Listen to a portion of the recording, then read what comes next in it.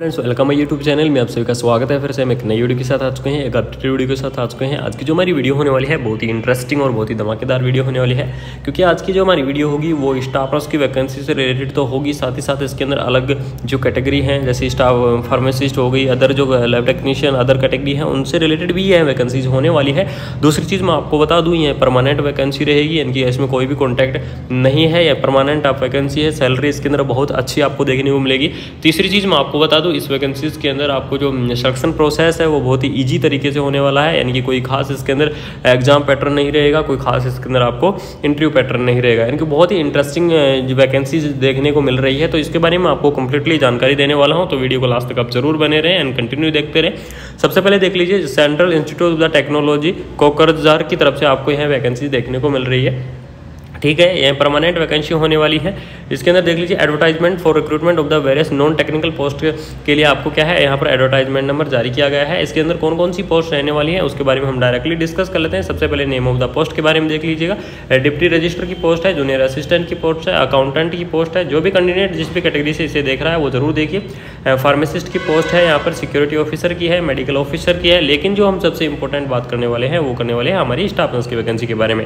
तो आप देख लीजिए, यहाँ पर आपकी स्टाफ नर्स की वैकेंसी के बारे में दिया गया है यानी कि सात नंबर पर आपको स्टाफ नर्स की वैकेंसी यहाँ पर देखने को मिल रही होगी, ठीक है? इसके अंदर जो एज लिमिट रहने वाला है, वो तीस रहने वाला है, यानी कि तीस साल तीस साल इसकी मिनिमम एज लिमिट आपको देखने को मिलेगी, ठीक है? इसी, जो इसका जो सैलरी आपको देखने को मिलेगा लेवल सिक्स के आधार पर, यानी कि लेवल सिक्स के आधार पर सैलरी देखने को मिलेगी आपको मैं आइडिया बता दूँ तो मिनिमम आपकी इसकी जो सैलरी रहने वाली है, सेवेंटी फाइव थाउज़ेंड रुपये के हिसाब से आपकी सैलरी होगी, क्योंकि इसमें टी ए डी जुड़ेंगे परमानेंट वैकेंसीज है तो इस हिसाब से है वैकेंसी आपको देखने को मिलेगी, ठीक है? उसके बाद में हम इसके अंदर नेक्स्ट डिस्कस करने वाले हैं, हमारी जो स्टाफ नर्स की वैकेंसी है, उसके जो एजुकेशन क्वालिफिकेशन के बारे में हम थोड़ा डिस्कस कर लेते हैं यहाँ पर। ये देख लीजिए, यहाँ पर सात नंबर पर स्टाफ नर्स की वैकेंसी है, हम बात करते हैं एजुकेशन क्वालिफिकेशन के बारे में।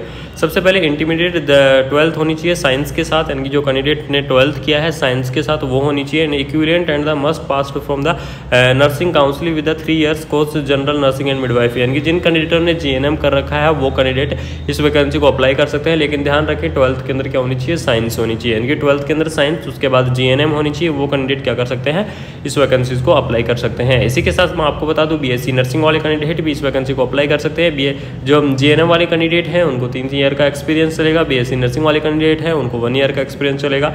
यानी कि जो जीएनएम है और बीएससी नर्सिंग है, दोनों कैंडिडेट क्या कर सकते हैं, इस वैकेंसी को अप्लाई कर सकते हैं। इसी के साथ मैं आपको बता दूँ, यहाँ पर फार्मासिस्ट की वैकेंसी है। फार्मासिस्ट के वैकेंसी के अंदर आपको जो जिन कैंडिडेटों ने डिग्री कर रखी है फार्मेसी के अंदर या डिप्लोमा कर रखा है फार्मेसी के अंदर, वो कैंडिडेट क्या कर सकते हैं, इस वैकेंसी को अप्लाई कर सकते हैं। उसके बाद में नेक्स्ट इसके अंदर मैं बात करने वाला हूँ कुछ जनरल इंस्ट्रक्शन दिए गए हैं यानी कि एप्लीकेशन फॉर्म के बारे में किस प्रकार से आपको अप्लाई करना है तो वो सारी चीज़ें मैं आपको यहाँ पर बताने वाला हूँ।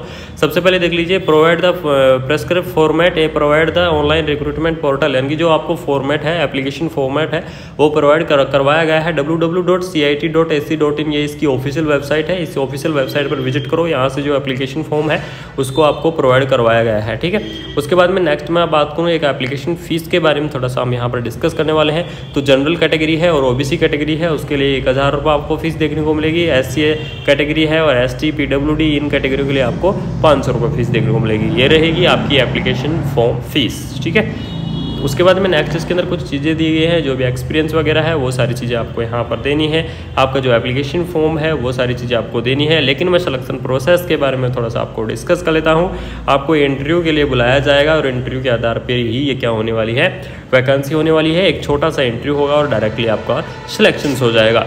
इस वैकेंसी की जो लास्ट डेट आपको देखने को मिलेगी वो डेट रहने वाली है 25 जून, यानी कि दे देख लीजिए the last date of the recipient of the online application is 25 June, यानी कि 25 जून मिड नाइट तक क्या है यह एप्लीकेशन फॉर्म आप भर सकते हैं। इस 25 जून के बाद आप इस एप्लीकेशन फॉर्म को नहीं भर पाएँगे। तो यह आपके लिए सभी इंटरेस्टिंग चीज़ें हैं कि आप इस चीज़ों को ज़रूर ध्यान में रखें। इस वीडियो को लास्ट तक देखते रहे। अब मैं बात करने वाला हूँ, इसके अंदर सिलेक्शन प्रोसेस के बारे में हम थोड़ा सा यहाँ पर डिस्कस करने वाले हैं कि आपको एप्लीकेशन फॉर्म है, वो किस प्रकार से अप्लाई करना है, किस प्रकार से नहीं करना है, क्योंकि एप्लीकेशन फॉर्म अप्लाई करना सबसे इंपॉर्टेंट चीज़ होता है आज की वैकेंसीज के अंदर।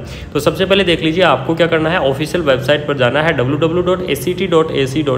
जो इसकी ऑफिशियल वेबसाइट है, वहाँ पर आप जाइए, वहाँ से जो एप्लीकेशन फॉर्मेट है, उस फॉर्मेट को आप डाउनलोड करिएगा।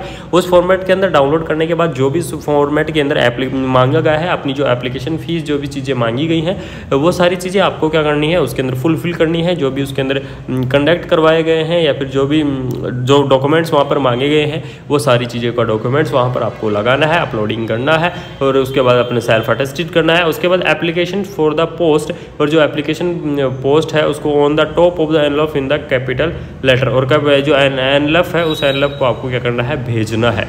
यानी कि यह क्या है ऑफलाइन मोड रहने वाला है आपका। उस एन को आपको भेजना है और उस एन के ऊपर आपको कैपिटल अक्षरों में लेकर ले, लिख देना है। आप, कि आप किस पोस्ट पर अप्लाई करना चाहते हैं। और जो एप्लीकेशन फॉर्म है, आपको क्या करना है? विद दस days of the last days of the submission application form the register central institute technology Kolkata के अंदर आपको क्या करना है? इस एड्रेस पर आपको सेंड करना है। ये एड्रेस देख लीजिएगा। इस एड्रेस एड्रेस पर आपको क्या करना है? अपने एप्लीकेशन फॉर्म को सेंड करना है। किस प्रकार से सेंड करना है? वे तो बाई पोस्ट करें या फिर आप सेल्फ जाकर करें।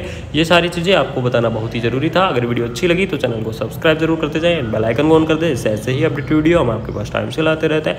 थैंक यू सो मच जय हिंद।